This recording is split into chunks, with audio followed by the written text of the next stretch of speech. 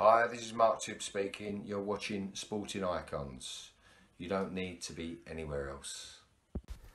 Now, we know right before the whole lockdown period, DAZN was meant to be entering the UK. And, and of course, I made plenty of videos on it, as did plenty of other people as well. Now, it's been a long time coming because DAZN is, for all intents and purposes, a UK-based company. So you would think that UK would have already had it first, right? Or at least a long time ago before now. But boxing being the boom that it is, they want to move it over here and capitalise on the boxing scene because they're not going to get, get the Premier League anytime soon, are they? Now, of course, with the whole lockdown situation, everything that they were planning on doing just went to the wayside because it was meant to be Billy Joe Saunders versus Canelo. That was all signed, sealed, and set to be delivered for, was it May the 5th, I think it was? And that was meant to be the launch of DAZN UK. But because everything fell to the wayside, um, of course, that didn't happen. And Obviously, Billy Joe, he said that he wasn't really training as well as what um, he would normally do, and he's not really looking for a September fight with Canelo, which of course DAZN was still planning on entering the UK. But with Canelo and DAZN, these guys are having all their kind of problems that they're having. I don't know whether or not it's resolved. I know that uh, they're going through some kind of renegotiation of the contract, but what what is that DAZN want to do, they still want to come to the UK and they still wanted Canelo to be the figurehead, the spearhead for DAZN UK. But what they wanted was a UK opponent. Joe Saunders ruled himself out. Um, you've got Callum Smith. He wanted six million. They offered five million. He was like, no. I mean, for me, that's madness. What's the difference? Five million, six million. Okay, yes, it's a million, and a million's a lot of money. But he ain't going to make five million fighting anyone else, is he? To be brutally honest, right? So Canelo, um, Callum Smith, he ruled himself out, and who else is there really? John Ryder, potentially. And I think that's the, the kind of guy that DAZN really want. But when Canelo is talking about Avni Yildirim, that's got no interest for us here in the UK whatsoever. We've already seen Avni Yildirim fight when he took on Chris Eubank Jr. in the opening round of the World Boxing Super Series. And Chris Eubank Jr., when he's fighting at super middleweight at that point, not the biggest puncher in the world at super middleweight, and he put this guy out cold. So do we really need to see Canelo versus Anthony Yildirim? No, that is the truth of it. But there is a plan B for DAZN. And believe it or not, their plan B is for DAZN to launch, potentially at least, on November the 27th here in the UK. With their fight, Daniel Jacobs versus Gabriel Rosado.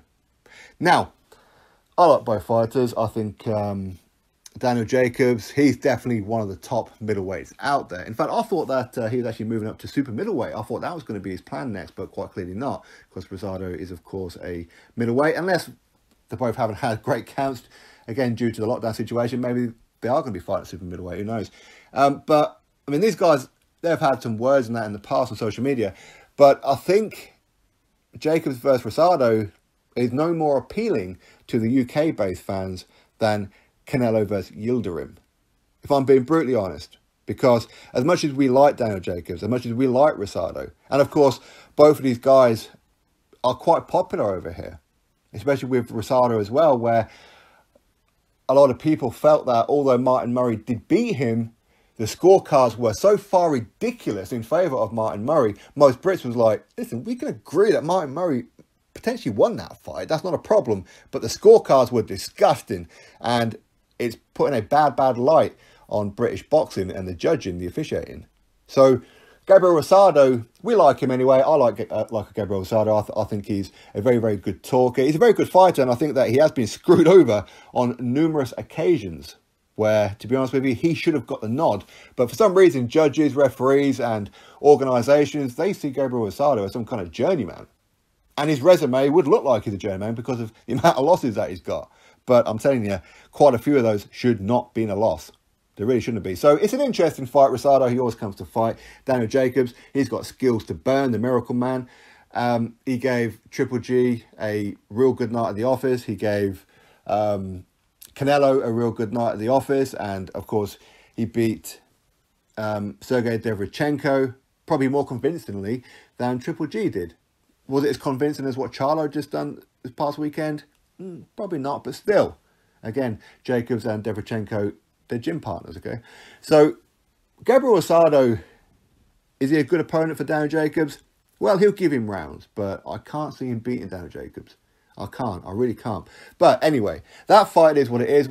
If and when that fight gets officially announced, and if it is going to be the launch for DAZN UK, going to make me wonder what it is that DAZN UK are really looking at. I mean, where I mean, who's advising you that this is a good fight to launch in here in the UK? It's not a good fight to launch here in the UK.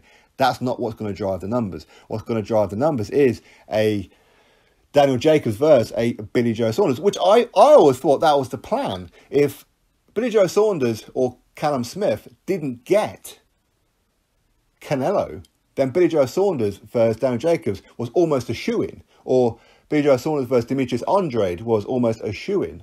Okay, so it means that BJ Saunders, he's, he's, he's going to have to drop down a weight to go take on Andrade, unless Andrade's going to move up to super middleweight. Of course, Dan Jacobs, he could move up to super middleweight and take on Billy Joe for the WBO super middleweight world title. But if not, then you've got Cam Smith taking on either one of them. Well, no, he won't be taking on uh, Andrade because there's no way on God's green earth that Cam Smith is making middleweight, not without totally depleting himself. He really isn't. And Andre, is he going to move up? I wouldn't have thought so.